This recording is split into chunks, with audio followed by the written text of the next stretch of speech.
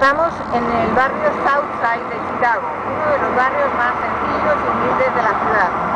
En este barrio, Barack Obama trabajó cuando acabó su carrera como organizador comunitario. Y en esta iglesia, la iglesia de la Trinity Church, fue donde Obama acogió la fe cristiana. En esta iglesia también se casó con Michelle Obama y en esta iglesia fueron bautizadas sus hijas como cristianas. Debido a las declaraciones incendiarias del párroco, de esta iglesia, de Jeremiah Wright, Obama durante la campaña electoral tuvo que romper relaciones con él e hizo un discurso maravilloso sobre la raza que se llama Una unión más perfecta, la iglesia Trinity Church en Southside Chicago.